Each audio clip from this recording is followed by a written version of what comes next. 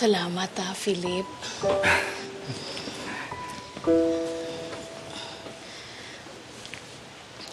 Alam mo, Philip, naawa na nga ako kay Gigi eh. Masyado na siyang naapektuhan sa mga nangyayari. Matatapos din yan. Saka, wala ka namang iniisip na masama sa kapwa mo, kaya hindi ka pababayaan ng Diyos. Saka, kagaya nga na sinabi ko sa'yo, nandito lang ako, okay? Love you na Lucy.